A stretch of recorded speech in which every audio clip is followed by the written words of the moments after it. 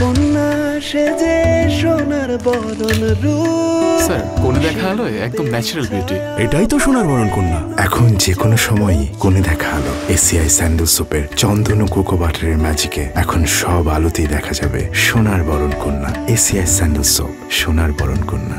ওমন রমজানের ওই রোজার শেষে এলো খুশির ঈদ। ঈদ যদিও এখনও আসেনি তবে কাল চাঁদ দেখা গেলে পরশু ঈদ। এসিআই স্যান্ডেলস ও প্রিয় তারকার ঈদ আয়োজনের এই বিশেষ আড্ডায় আপনাদের সবাইকে আমন্ত্রণ। ঈদ আনন্দের এই খুশির ঘণ্টিতে আমরা রয়েছি প্রিয় এক দম্পতির সাথে, যাদের বিয়ের বয়সটাও খুব কম, গড়িয়েছে মাত্র এক বছর।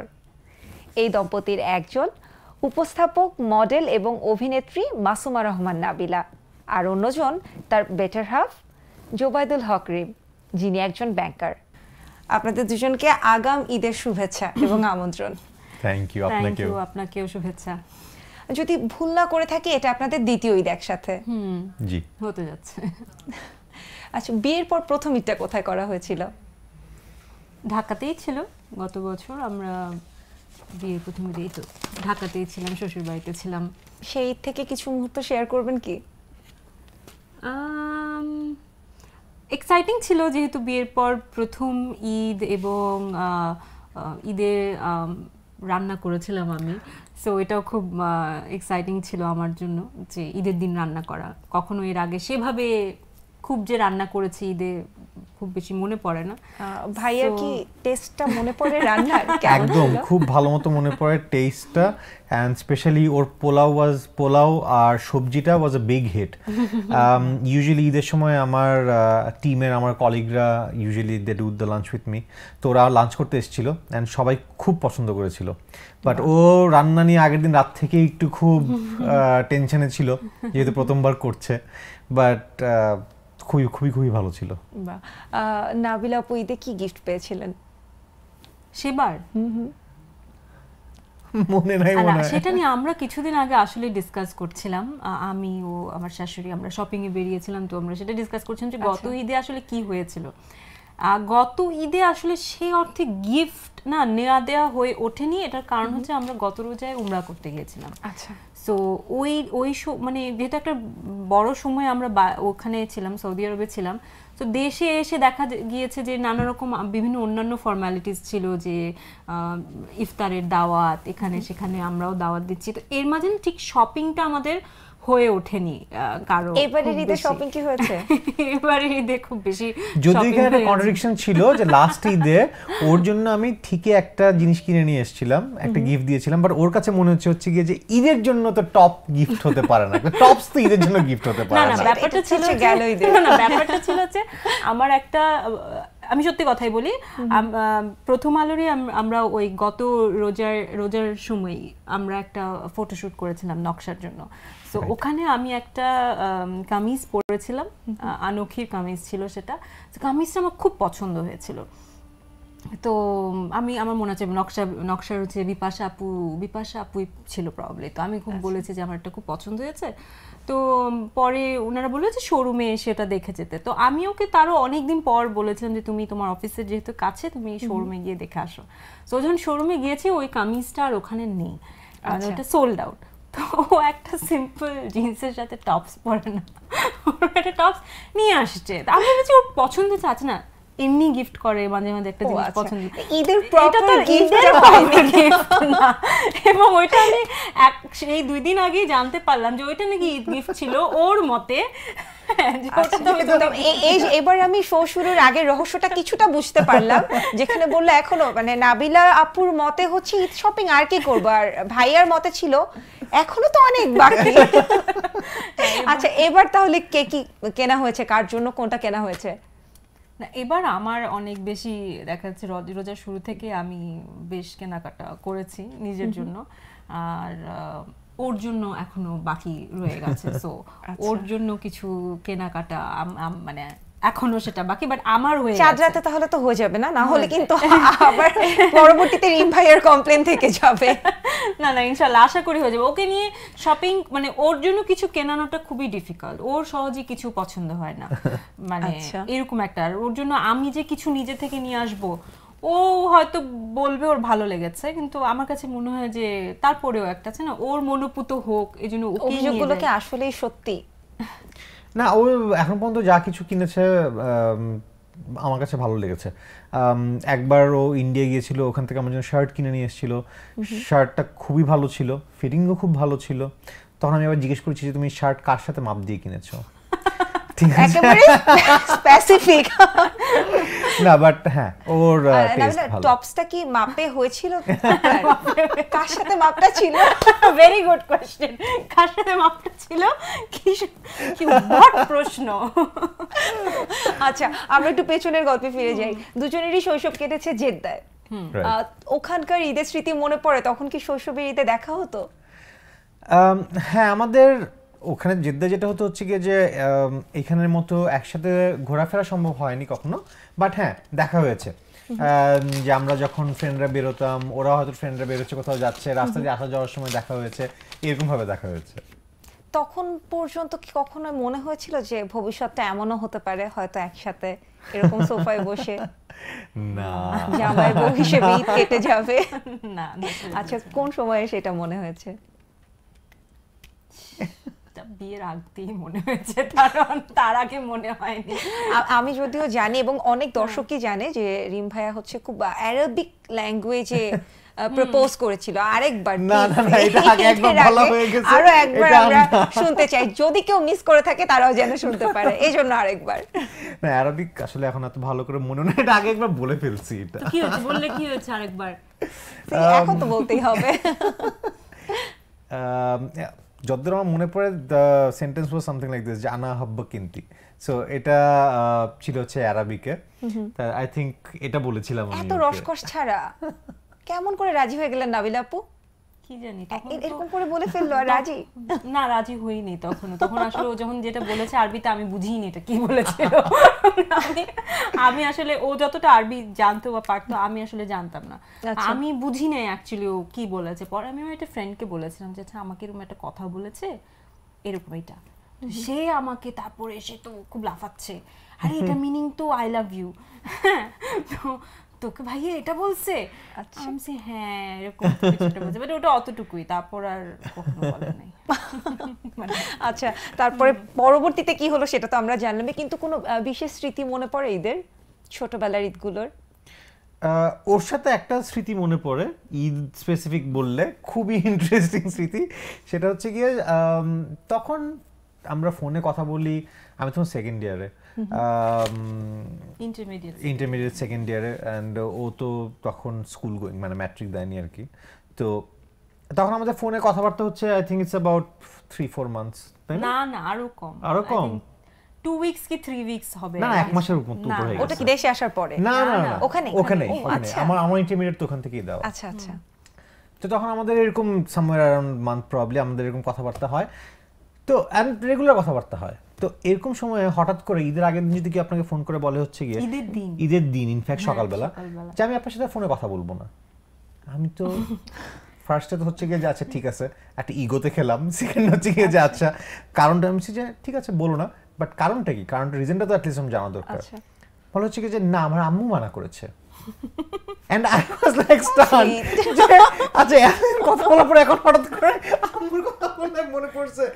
দ্যাট ওয়াজ আই থিংক কোরবানির ঈদ ছিল একটা। ঠিক আছে আচ্ছা ঠিক আছে। কথা বলো না তাহলে। তারপর আসল ঘটনাটা কি ছিল? মানে আম্মুর কাছে গেল কীভাবে? আর আম্মু মানা করল হঠাৎ করে? আম্মু তো আম্মুরা কি না বুঝে থাকে নাকি? সবই বুঝে এবং বুঝেছে এবং আম্মুর কথা হচ্ছে যে থাকে না ওই আচ্ছা, এতদিন পরে এসে এখন কি সত্যিটা বলা যায় যে তখন কি নাবিলার মনে একটু কষ্ট জেগেছিল যে কথা বলা যাবে না? হ্যাঁ হ্যাঁ হ্যাঁ খারাপ লেগেছিল এবং ওরও অনেক খারাপ লেগেছিল। আমরা তারপরে হচ্ছে ফ্রেন্ডরা মিলে বের হয়েছি। আমাদের তো স্কুল যেখানে আমরা মানে ওই এরিয়াতে বাংলাদেশ অ্যাম্বাসির কাছাকাছি যেহেতু সো ওই এরিয়া অনেক বাংলাদেশিরা থাকে আর কি। তো আমরা হচ্ছে সব ফ্রেন্ডসরা বের হই এই বাসায় যাই ওই বাসায় যাই।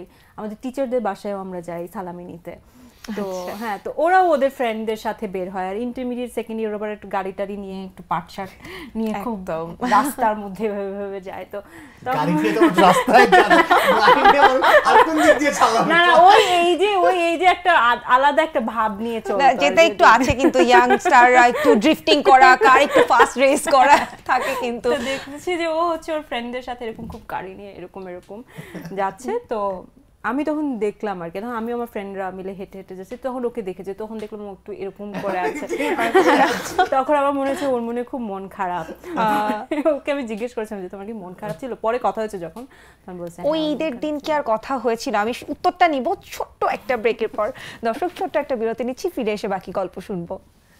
সোনার বরণ কন্যা সেজে সোনার বরণ রূপ। স্যার কোনে দেখা আলোয় একদম ন্যাচারাল বিউটি এটাই তো সোনার বরণ কন্যা। এখন যে কোনো সময়ই কোণে দেখা আলো এসিআই স্যান্ডেল সোপের চন্দন ও কোকো বাটারের ম্যাজিকে এখন সব আলোতেই দেখা যাবে সোনার বরণ কন্যা এসিআই স্যান্ডেল সোপ সোনার বরণ কন্যা। বিরতির পর আবারও আমন্ত্রণ এসিআই স্যান্ডেল সোপ প্রিয় তারকার ঈদ আয়োজনে। তো সেই ঈদে কি আর দেখা হয়েছিল? না দেখা তো ওই যে বললাম এভাবে। পথে দেখা হয়েছে। আর ওই ঈদে মনে হয় আর কথা হয় না, ওই ওদিন আর কথা হয় না আচ্ছা এর মধ্যে একটা বা- নাবিলাপুর একটা প্রসঙ্গ ছিল যে সেলামি নিতে টিচারদের বাসাতেও যাওয়া হতো। সেলামি নিয়ে ছোটবেলার কি কি মজার অভিজ্ঞতা মনে পড়ে? না আমার এরকম খুব একটা মজার কোনো অভিজ্ঞতা না মনে পড়ে না। Not really we had much more fun thing to do গাড়ি নিয়ে রাস্তায় ঘুরে বেড়াতো। আলিনের রাস্তায় ঘুরে আচ্ছা প্রথম ঈদে নাবিলা আপু কত কত সেলামি পেয়েছেন? এত মনে নাই আমার আসলে। খুব আহ, খুব বলার মতো মনে রাখার মতো মনে হয় অ্যামাউন্ট ছিল না। এই জন্য মনে এই ঈদের এক্সপেকটেশন ও আচ্ছা না লাস্ট ঈদে কত সালামি পেয়েছে? ও লাস্ট ঈদের কথা বলছো? আমি ভেবেছি আমার প্রথম না, না, না। আচ্ছা আচ্ছা। লাস্ট ঈদেরটা নিয়ে আসলে একটা মানে রিম ভাইয়ের কাছ থেকে। সেটা একটা মজার ঘটনা আছে এবং এটা আসলে কয়েকদিন আগে আরেক জায়গায় আমি গল্প প্রসঙ্গে জানতে থ্যাংক পেরে। গড আমাকে প্রশ্নটা করা হয়েছিল দেখে আমার মনে পড়ে গেছে। আচ্ছা। সেটা হচ্ছে যে ঈদের দিন আহ, ধরো ঈদের আগের দিন চাঁদ রাতে তো ও এটিএম এটিএম থেকে টাকা তুলে তুলে এনেছে তো আমি কি? বলি নতুন চকচকা নোট এনেছি সালামি টালামি দিব আর কি। তা আমি আচ্ছা ঠিক আছে সব ছোটদের সালামি দিবে আর কি নেই। তো ঈদের সারাটা দিন চলে যাচ্ছে। চলে যাওয়ার পর সে আমাকে বলছে যে আমি তো তোমার জন্য টাকা তুলে রেখেছিলাম তো তুমি তো আমাকে সালাম করলে না।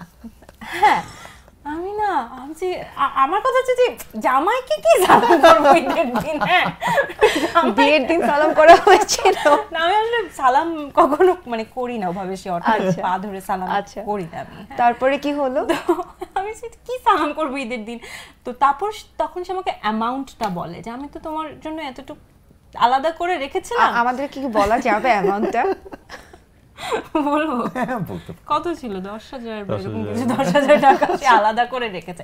তখন আফসোসটা আসলে বেশি হয়। অল্প অ্যামাউন্ট হলেও তো তখন আমার খুব আফসোস হয়েছে যে আল্লাহ মানে সে দশ হাজার টাকা যদি আলাদা করে রাখে আমি সালাম করি না। আমি আমি তোমাকে এখন সালাম করি। বলে না না না এখন সালাম করা যাবে না এই না। তারপর আর সে সালামটা নিলও না টাকাটা দিলও না। এবার এবার ঈদের কি তাহলে? এবার ঈদের কি তাহলে? আমি একেবারে ভুলে গেছিলাম। কয়েকদিন আগে বললাম যেটা কথা প্রসঙ্গে আমার মনে পড়েছে। আমি তাকে অনেক থ্যাংক ইউ জানাচ্ছিলাম। যে থ্যাংক ইউটা মনে করে তাহলে তো আমি আরও একটু আগে দিলাম। এবার যাতে মিস না হয়। এবার তাহলে নিশ্চয়ই বিশ হাজার হয়ে যাবে। আগের ঈদের পাওনা আছে। সারপ্রাইজিংলি ও কিন্তু আগে যখন এটা নিয়ে আমাদের গল্প হয়েছে তখন ও একদিন আমাকে এমনি গল্পে গল্পে বলছে কি তুমি ঈদের সময় নামাজ পড়ে আসবে? আমি ঘুমটা দিয়ে তোমাকে একটু সালাম করব তুমি ইয়ে করব। আমি ওকে বলছি হচ্ছে গিয়ে যে সিরিয়াসলি তুমি এরকম মানে এরকম তুমি তুমি তো ইউ নট দ্যাট না না না এটা তো একটা টিপিক্যাল করতে হবে হ্যাঁ। মুসলিম কাপল যেটা। না না না এরকম এটা না করলে এটা কি হলো? তোমার আসলে কোনো রসকস নাই। ওই ধারণা থেকে আমি চিন্তা করে রাখছি যে আচ্ছা ঠিক আছে আমার একটু প্রস্তুত থাকা দরকার। ও তো নিশ্চয়ই আমি নামাজ আমি একদম ওইটাও চিন্তা করেছি যে নামাজ পড়ে আসার সময় যেন আমার পকেটে থাকে। নামাজ পড়ে রুমে ঢোকার পর দেখি হচ্ছে গিয়ে ও আসছো আচ্ছা ঠিক আছে ওকে নাস্তা খাবা? আমি বলছি যে আচ্ছা ওকে জিজ্ঞেস করব হয়তো পরে। দুপুর টুপুর চলে গেছে। রাত্রে আমাদের ফ্রেন্ডের বাসা থেকে বেরোচ্ছি তখন কথা প্রসঙ্গে কি জানি সালামের কথা উঠছে। আচ্ছা। দেন আই টোল্ড হার আচ্ছা আমি তো একদম দশ হাজার মিস আসলে এবার এবার এটা এবার এবার নিশ্চয়ই ভুল হবে না। হ্যাঁ, না। সালামের জন্য যে কোনো কিছু করতে রাজি আছি। আচ্ছা আরেকটু আহ, জেনে নিই যে শালা শালিক তো ভাইয়ার নেই সেক্ষেত্রে কাজিন আচ্ছা, আচ্ছা, আচ্ছা আচ্ছা। ও হ্যাঁ আছে তো। হ্যাঁ, হ্যাঁ, একটা সেই ক্ষেত্রে সেখানে সালামের কতটুকু প্রস্তুতি থাকে? আহ, প্রস্তুতি ছিল বাট লাইকওয়াইজ ওদের সাথেও ঈদের দিন আহ, দেখা হয়েছিল। ওরাও সালাম করে নাই। আর নাবিলাপুর ক্ষেত্রে দেব ওই দিন আবার আর্জেন্টিনার খেলা ছিল। ও আচ্ছা আচ্ছা লাস্ট আচ্ছা। রোজার ঈদে আর্জেন্টিনার খেলা ছিল আর আর্জেন্টিনা হারতেছিল। তো এই জন্য আমার মন টন খুব খারাপ ছিল। আচ্ছা। এই জন্য আর এক দলের লোক পাওয়া গেছে। আহা। যা তোমাকে আমরা সেদিন সেভ করে দিলাম। হ্যাঁ ট্রু আর নাবিলাপুর ক্ষেত্রে কি দেবর ননদকে ঈদি দিতে হয়?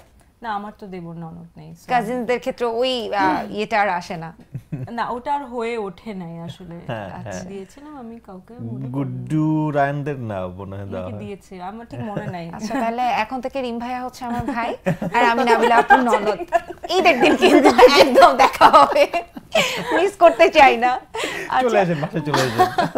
আবার একটু ছোটবেলার গল্পে আসি যে ছোটবেলায় একটা ট্রেন্ড ছিল। ইনফ্যাক্ট আমার মনে এখনও আমাদের মধ্যে রয়ে গেছে যে ঈদের জামা কাপড় জুতা কেউ যদি দেখে ফেলে তাহলে সেটা পুরনো ঈদের দিনে আর পরা যাবে না। এরকম কোনো ঘটনা কি আপনাদের সাথেও ছিল? না ঠিক সেভাবে সে অর্থে সেরকম কখনো করিনি। বাট বাট এটা ন্যাচারালি যে ঈদের আগে কেন ঈদের কাপড় কাউকে দেখাবো?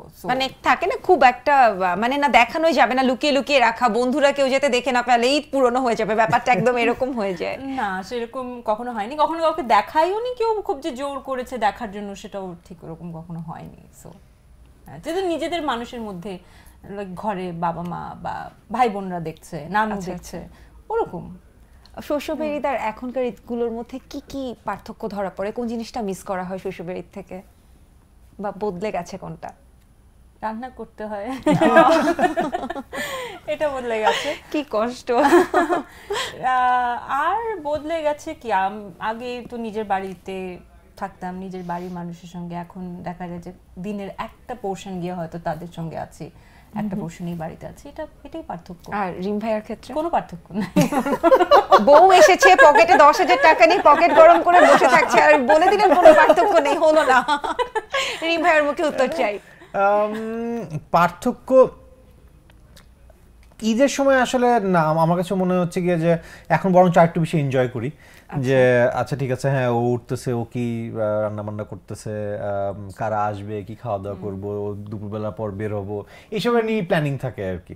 বেরোনোর কথা থেকে মাথায় আসলো যে একটা দেখা যায় না যে দল ধরে বন্ধু বান্ধবরা সবাই ঈদের দিন একটু মানে দল ধরে বেরোনো হয়। হ্যাঁ। সাজুগুজু করে একদম সেরকম কি এখনও করা হয়? বন্ধুদের নিয়ে প্ল্যান করা হয় আলাদা করে?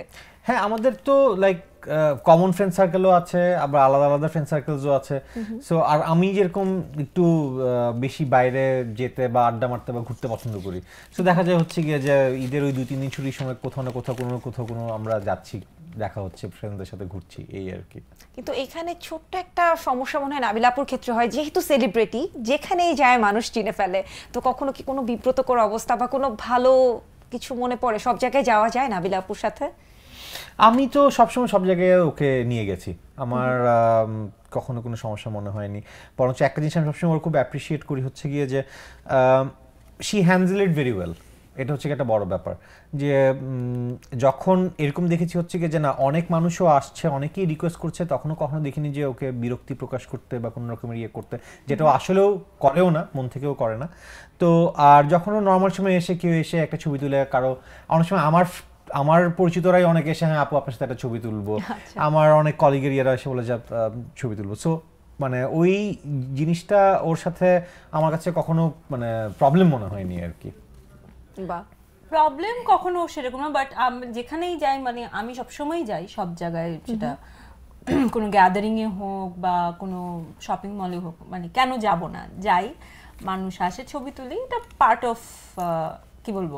লাইফ হয়ে গেছে এবং তাদের জন্যই আমরা এখন এত দূর আছি বা যতটুকুই যা হয়েছে বাট আমার কাছে একটা ঘটনা মনে পড়ছে যে নেত্রকোনায় যে বিয়েতে গিয়েছিলাম হ্যাঁ, হ্যাঁ, হ্যাঁ, ওই। ওইবার একটা ঘটনা ঘটেছিল যে এত মানুষ হয়ে গেছে যে তখন আর বিয়েতে বেশিক্ষণ থাকতে পারিনি আর কি মানে বরগুয়ের থেকে নাবিলা দিকে ভিড় বেশি হ্যাঁ তো ফ্রেন্ডের কোন আত্মীয়ের বিয়ে ছিল। নেত্রকোনায় আচ্ছা। ওটাই ফার্স্ট টাইম গিয়েছিলাম ওটা হ্যাঁ। তো ও- কোনো দেশের বাড়ি। তো তখন দেখা যাচ্ছে যে তখন ওই বিয়েতে যে একটু থাকব বা কিছুক্ষণ টাইম স্পেন্ড করব ওটা আর করা হয়ে ওঠেনি ওটাই একটা ইনসিডেন্ট যে বেশিক্ষণ থাকা যায়নি ওখানে বের হয়ে আসা আর একটা আরেকটা জিনিস যেটা না বলে পারছি না আর একটু ব্যাকগ্রাউন্ড যারা অনেকেই জানে না বা রিম ভাইয়ের একটা কিন্তু নাম আছে সুপারম্যান যে যে কোনো বিপদ থেকে বিয়ে উৎসবে যেটা হয়েছিল যে স্টেজ ভেঙে পড়ে যাচ্ছিল রিম ভাই এক হাতে ঠেকিয়ে দিল এবং বিয়ে উৎসবে আপনারা দুজন একসাথে র্যাম্পেও হেঁটেছেন এবং হ্যাঁ, তখন বেশ কানাঘুষা শোনা গেছে দুজনকে একসাথে দারুণ মানায় এবং এরকম কানাঘুষা সব সময় শোনা যায়। তো আহ, রিম ভাইয়ের কি কখনো অভিনয়ের প্রস্তাব এসেছে বা আসলে কি করবেন? না না। না প্রস্তাব তো আসে আসে। অভিনয়েরও এসেছে মডেলিং এরও টিভিসি করার জন্য দুই তিনটা এসেছে একদম ভালো ভালো কাজই ছিল। বাট না ওর কোনো আগ্রহ নেই। নাবিলা আপু কি চান? আসলে অ্যাক্টিং এর জায়গা থেকে বললে আসলে ওটা আসলে করা সম্ভব হয়ে উঠবে না। ও যেই প্রফেশনে আছে। বাট টুকটাক মডেলিং করা যেতে পারে ওয়াই নট মানে আমি আমার কোনো সমস্যা যেতেই পারে একসাথে কিন্তু দারুণ মানায় এতে কোনো ডাউট নেই। যেহেতু অভিনয় প্রসঙ্গ আসলো আহ, আয়নাবাজির পরে নাবিলা আপুকে স্ক্রিনে দেখা যায়নি সিনেমার ক্ষেত্রে কেন? জানি না হচ্ছে না। হয়ে উঠছে না। মানে কি পছন্দ হয়ে উঠছে না নাকি স্কেজিউল মিলছে না কোনটা? পছন্দ? মানে ভালো কাজ হচ্ছে অবশ্যই হচ্ছে এখন অনেক ভালো ভালো গল্পে কাজ হচ্ছে। জিনিসটা হচ্ছে আমার কাছেও ভালো গল্প আসতে হবে। আমার কাছে যে সকল গল্প এসেছিল সেগুলো আমার খুব বেশি একটা পছন্দ হয়নি। রিসেন্টলি দুই একটা কাজ মনে হয়েছে করব করব কিন্তু সেগুলো নানা কারণে হয়ে উঠছে না। হয়তো হবে। সো ওরকম একটা জায়গায় আর কি আছি। কিন্তু উপস্থাপনা তো চমৎকার চলছে। ইনফ্যাক্ট আমি বলছিলাম বারবার যে আমার ভয় লাগছে যে আমি কার সামনে বসে উপস্থাপনা করছি আজকে। আচ্ছা নাবিল আপু ঈদ ঈদের পর পর বা ঈদ কেন্দ্র করে কোথাও ঘুরতে যাওয়ার প্ল্যান আছে দেশের বাইরে বা কোথাও? একটা যেহেতু এর আগে দেখেছি দুজন একসাথে বিরাট একটা হানিমুন ট্যুর দিয়ে এসেছেন দেশের বাইরে থেকে তারপরে আর খুব একটা ঘোরাঘুরির খবর পাওয়া যায়নি। হুম, কোথাও নিয়ে যাচ্ছে না আমাকে। Complain point to be noted না ইনশাআল্লাহ এই বছর আরেকটা ট্যুর হবে ভালো ইনশাআল্লাহ কোনো কি প্ল্যান করা হয়েছে? কোন দিকে যাওয়ার ইচ্ছা বা কি? বলব না। সিক্রেট সিক্রেট ট্রিপ তাহলে তো আর এখানে বলা যাচ্ছে না পরবর্তীতেই জানতে হবে। তো ঈদের আগের সব গল্প হচ্ছিল চাঁদ রাতের এবার দুজনের কি প্ল্যান আমার ইচ্ছা আছে ঘুরে বেড়ানোর। ঢাকা শহরে ঘুরে বেড়ানোর আমাদের যেখানে যে ফ্রেন্ডসরা আছে। আমি তো উত্তরা থাকি সো একবার এসে গুলশান মনিতে যারা আছে তাদের সাথে একটা ঢুমারলাম। ধানমন্ডি দিকে একটু ঢুমারলাম। যদিও কোথাও একটু শপিং টপিং এর জন্য থামতে চাই একটু দোকানপাটেও থামলাম। এই ঘুরে বেড়ানো মানে বোঝা যাচ্ছে শপিং এর দিক থেকে এবার আর কোনো মানে মানে একেবারে দিল খোলকে না? একদম। আচ্ছা এমনিতে তুই সেহরি করতে কি বাইরে বেরোনো হয়েছে যেটা এখন খুব চলছে এই ব্যাপারটা? আমরা ফ্যামিলি নিয়ে বের হয়েছিলাম সেরি করতে। আচ্ছা। আমার মা এবং ওর মাকে নিয়ে ভাই বোনদেরকে নিয়ে আমরা ধানমন্ডিতে গিয়েছিলাম সেরি করতে। ওই একটাই সেরি করতে বের হওয়া রাইট আর সেরি করতে বের হওয়া হয়নি। ইফতার করা হয়েছে দু তিনটা বাইরে তাহলে সব চাঁদ রাত ঘিরেই রাতে ঘোরার প্ল্যানটা হ্যাঁ, আচ্ছা এবার একটু ঈদের দিনের প্রসঙ্গে চলে আসি। এটা নাবিলা আপুর কাছে জানতে চাবো। যেহেতু প্রচুর মেকআপ করতে হয় সাজগুজ স্কিনের টেক কেয়ার কীভাবে করেন আপনি? কি কীভাবে পরিচর্যা করেন? ঈদের দিন কি ধরনের পরিচর্যা করবেন? কি ধরনের মেকআপ করবেন? মেকআপ নর্মাল যেরকম সবসময় করি। আচ্ছা। আমি তো সবসময় একটু সিম্পল হালকা মেকআপ করি। আর স্কিনের যত্নে যেটা হচ্ছে আমি এক হচ্ছে ক্লিন রাখার চেষ্টা করি মেকআপ খুব ভালোভাবে রিমুভ করা এবং আমি প্রচণ্ড ম- মানে স্কিনকে ময়েশ্চার ময়েশ্চারাইজ করি। আমি খুব ক্রিম লোশন খুব পছন্দ করি দিতে। ওভাবে এতটুকুই আমার পরিচর্যা এর বেশি কিছু তো। যেহেতু ঈদটা সামারে কোনো আলাদা লুক মাথায় আছে কি যে একটু ডিফারেন্ট করে কিছু করা হবে এবারের ঈদে বা এরকম কোনো ঈদ লুক প্ল্যান ওরকম কোনো লুক প্ল্যান নাই তবে যেটা যেটা যেহেতু সামার আমি কাপড়ের ক্ষেত্রে যেটা হচ্ছে যে ফ্যাব্রিক খুবই আরামদায়ক এবং মোস্টলি পছন্দ হচ্ছে কটন দিনের বেলায় অ্যান্ড সামথিং সফট কালারের আর কি। Maybe baby pink or beige কালারের বা ক্রিম কালার লেমন কালার এরকম কোনো কিছু আর কি। সেটাতে যেরকম মেকআপ মানাবে সেরকম। আবার একটা প্রশ্ন মাথায় চলে এসছে করেই ফেলি। চাঁদ রাতে দুজন মুখোমুখি বসে একজন আরেকজনের দিকে তাকালে কোন গানটা মনে বেজে উঠতে পারে? থাকে না একটা রোমান্টিক থিম রোমান্টিক হলো না কিন্তু বিষয়টা। এমনি কি বলি যে প্রেজেন্টারের সামনে প্রেজেন্টেশন করাটা কঠিন? ঈদের আগের দিনে কোন গান? না না এই জন্যই তো বললাম যে রোমান্টিক একটা গান তো মনে পড়তেই পারে। আচ্ছা বা- নাবিল আপু কঠিন করে দিচ্ছে।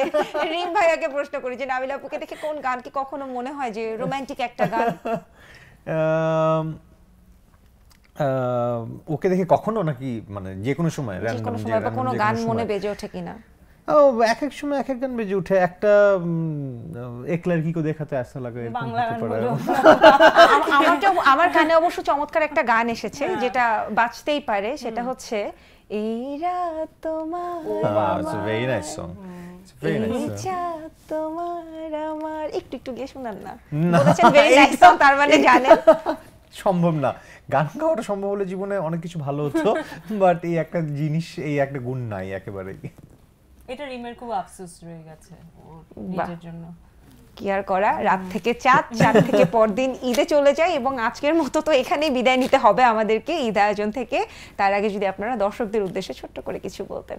আহ, দর্শকদের বলব যে আহ, আশা করি আপনাদের এই পুরো রমজান মাস খুব সুন্দর কেটেছে পরিবার এবং প্রিয়জনদের সঙ্গে নিয়ে এবং ঈদ ঈদের দিন এবং ঈদের পরবর্তী দিনগুলো যাতে এরকমই সুন্দর কাটে আরও বেশি আনন্দ নিয়ে যাতে সবার ঈদ কাটে এবং এই ঈদের যে আনন্দের আমেজটা সেটা আমরা সবসময় চাই বছর জুড়ে যাতে আহ, থাকে মনের ভেতর সেটাই আশা করি এবং সবাই আমাদের জন্য অনেক দোয়া করবেন। রিম ভাইয়া? আম, দোয়া করব যেন আমাদের এই রমজানের সকলের সংযম সকলের যেই ধর্মীয় প্রার্থনা ছিল যার যার দিক থেকে সেগুলো যেন আল্লাহ কবুল করে নেন।